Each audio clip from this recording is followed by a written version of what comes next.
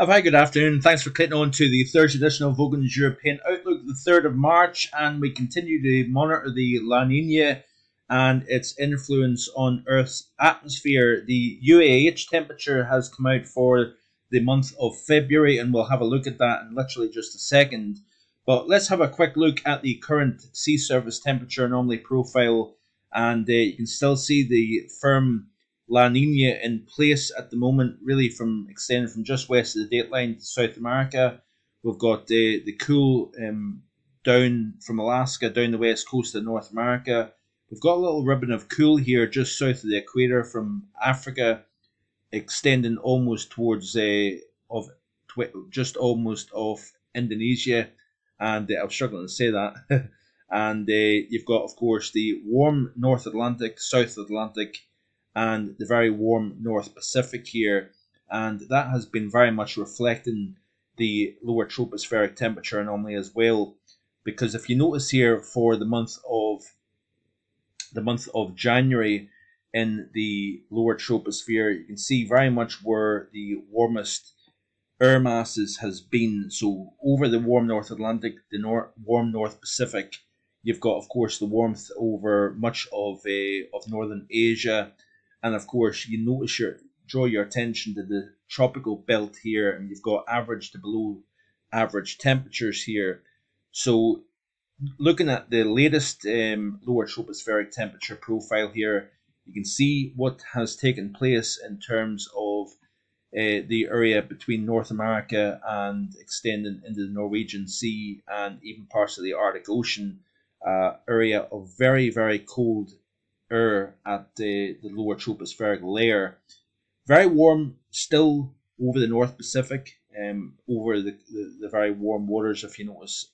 Got warmth still over the North Atlantic, but that's been deflected into the uh, the, the kind of mid latitude or mid latitudes extend into the low latitudes. Very warm, if you notice here, uh, over the Middle East, extending up over the top of uh, Asia but you can see very much where the strong polar vortex within both the stratosphere and the troposphere has been dominating the air mass here. Very cold compared to normal, extending from uh, from much of Canada across uh, over Greenland and uh, the North Atlantic here, and that of course has been the driving mechanism here uh, with the very strong westerly flow, uh, positive Arctic oscillation, positive North Atlantic oscillation. Warmth has been deflected into this region here. And of course, we've had a very powerful jet stream running in between these air masses here. So the month of December has looked like this here in terms of the UAH satellite based temperature of the global lower atmosphere. You can see December it was uh, plus 0.21 degrees Celsius above normal. January was plus 0.2, uh, 0.03 Celsius above normal and the very latest February is bang on average, which is very interesting indeed here. And you can really see the, the, the lower tropospheric temperature profile going with the uh, the of course the super El Nino that went off in 2016-17. We've got the drop off with the uh, La Nina, which uh, came on during 2017-2018 We've seen, of course, the rise in temperature globally once again last spring and last summer, uh, indicative of the collapse of the La Nina, and then, of course, it redeveloped during the autumn uh, of 2021. And since then, we're seeing the drop off in temperature, and I think we'll continue to see that temperature dropping off as we go through the spring season. It wouldn't surprise me if it was actually a negative figure here for the month of March and even uh, April as we go forward. And of course, inevitably, what will happen is we'll see an El Nino developing once again, and the global temperature will come up. But it's interesting to see at least the downward trend in temperature. And one of the, one of the factors that I think we are going to see the temperature globally come down below average is the type of spring pattern that I'm expecting. Now, we'll continue to watch the stratosphere as it warms at 10 HPA. We're going to see likely the uh, downward transfer of that warming into you know 50 HPA, even 70 HPA, which is ba- basically the borderline between the lower troposphere and the upper uh, the, the lower stratosphere, sorry, and the upper troposphere. At this very moment in time, I think the Madden-Julian oscillation is playing a role in changing the upper pattern. We've now got dominant high pressure over Europe. We're going to see that area of high pressure build northwards, keeping our eyes on, of course, the undercutting cold extending from Russia westwards over the continent of Europe. Of course, we've still got the, the Atlantic influence here. The jet stream still active. The core of that is going to be further west, and we're seeing a big split in that jet stream at uh, 40,000 feet. One branch going north, one branch going south, and it's really going to be interesting as we go forward here. This is a clip, by the way, from Tuesday, the 8th of March. High pressure strongly just east of Finland at 1030 millibars. Uh, east, or should I say, aye, east to northeasterly winds underneath that area of high pressure, transporting cold polar air westwards towards the UK. And of course, you can see three areas of low pressure almost ganging up uh, to the west of Ireland and the British Isles here. And of course, we've got the big battleground between the cold coming in from the east, the Atlantic weather coming in from the west. Could we see snow events taking place? A lot of that depends on how much cold air that high over Russia it delivers uh, to the UK here. So a lot of uncertainty over next week, but you can get the overall idea. We've got high pressure blocking high pressure now back in play in the boundary between the mid and high latitudes once again, and it can only be attributed, I believe, to the Madden-Julian oscillation starting to progress uh, over the tropical belt, having influence further north over the northern hemisphere here. So let's go back to the here and now here, and uh, you can see the overall setup here as we go into the weekend.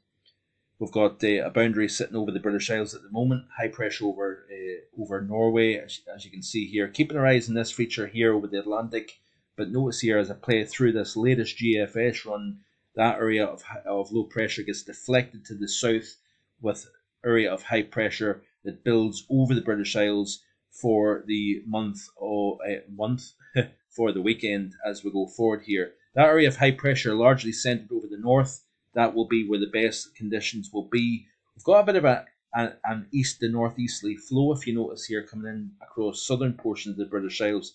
So we may start to get a little bit of a chilly, nagging east flow around that area of high pressure, but we don't have those isobars poking their nose right up into Scandinavia. So we're not transporting any air from off a colder source, but it could be a kind of nagging easterly wind all the same. As we go from weekend in the next week, that's when things start to become more interesting. As the area of low pressure becomes a little bit more established to the west of the UK, that area of high pressure strengthens as it kind of gets nudged back into Scandinavia. So basically, the entire system, low pressure over Atlantic, high pressure over Europe, is all shifting bodily eastwards, but all the while, area of high pressure over over Europe becomes stronger, becomes a bigger driver, and as it starts to push north, that's when we start to get the undercutting cold area of, of winds uh, underneath that here. So really is going to be very interesting to watch next week as we go forward in terms of the overall out, outcome here. But we also have a lot of cold air over the Atlantic as well as over Europe. And the two areas of cold air may merge uh, to set up a, a fairly chilly outlook overall as we go forward here.